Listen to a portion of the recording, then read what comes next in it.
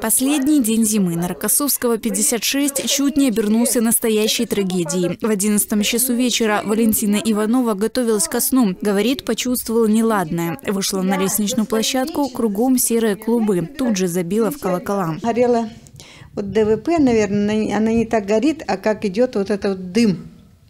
Дым, такой дым, как повалил дым. Вы посмотрите, что тут делается. Это очень... Не дай бог. Вор хоть стены оставляет, а пожар ничего.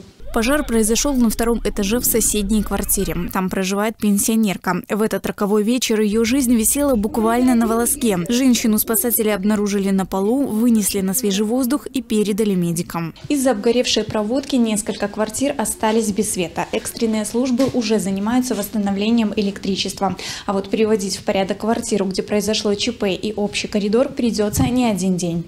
Всему виной в один голос, твердят соседи, пагубные привычки. Пенсионерка, говорят, любительница выпить и покурить. Уничтожен шкаф, находящийся в коридоре, закопчены стены и потолок в квартире. Предполагаемая причина пожара – неосторожное обращение с огнем. Вероятнее всего при курении. Еще одно ЧП произошло на Ульяновской. На номер 112 позвонил случайный прохожий. Здесь средь бела дня из-за аварийного режима работы электрической сети загорелся Форд Мандео. Благо, как и в предыдущем случае, обошлось без пострадавших пострадавших. Ольга Васенда, Станислав Чечерин, Бобруйск, 360.